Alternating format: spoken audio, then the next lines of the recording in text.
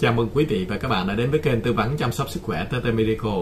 Như chúng ta đã biết thì khi mà chúng ta đi khám bệnh và được bác sĩ chẩn đoán là bị cao huyết áp thì ngoài việc là bác sĩ sẽ kê cho chúng ta một cái đơn thuốc như thế này để về uống thì bác sĩ còn dặn dò chúng ta là phải cử các chất kích thích như là rượu bia cà phê thuốc lá hay là phải thường xuyên luyện tập thể dục thể thao đều đặn mỗi ngày để duy trì thể lực đó, để đảm bảo sức khỏe của chúng ta và còn một điều quan trọng nữa bác sĩ cũng không quên đó là dặn chúng ta là phải ăn giảm muối, phải ăn nhạt. Nhưng mà bác sĩ lại không giải thích là lý do tại sao chúng ta phải ăn nhạt, chúng ta phải cử mặn. Đó là một điều là nó đã làm cho chúng ta bị thất bại trong quá trình kiên cử, là do chúng ta không hiểu được là lý do tại sao phải ăn nhạt, phải giảm mặn.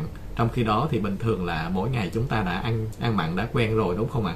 Bây giờ bác sĩ kêu là phải ăn nhạt, thì chúng ta lại không quen nếu như mà chúng ta hiểu được lý do tại sao chúng ta phải cử mặn, thì chúng ta sẽ kiên cử được. Và trong buổi chia sẻ ngày hôm nay thì chúng ta sẽ cùng nhau để phân tích, để trả lời được cái câu hỏi tại sao khi mà bị tăng huyết áp thì phải cử mặn, phải không được ăn mặn và phải ăn nhạt nha quý vị và các bạn.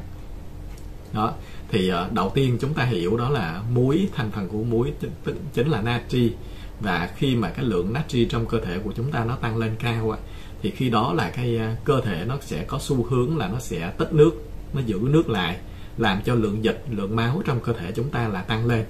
Và khi lượng dịch, lượng máu trong cơ thể chúng ta tăng lên thì cũng đồng nghĩa là bắt buộc tim phải làm việc nhiều hơn để đưa đủ lượng máu đi nuôi cơ thể.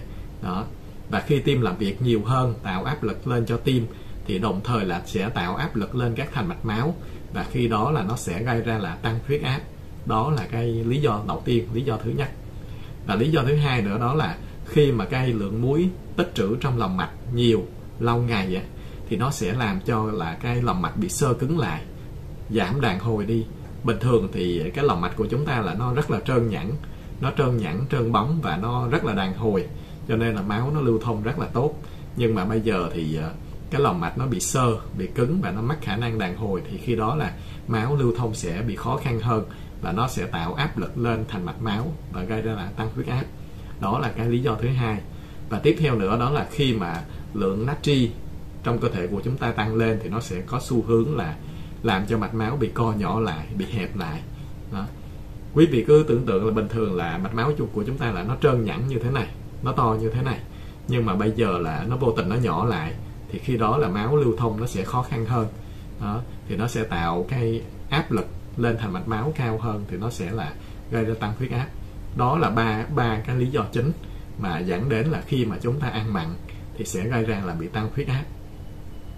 Và theo khuyến cáo của tổ chức y tế thế giới thì ờ, mỗi ngày chúng ta chỉ nên sử dụng dưới 2,3 gram muối trên một người trưởng thành mà thôi.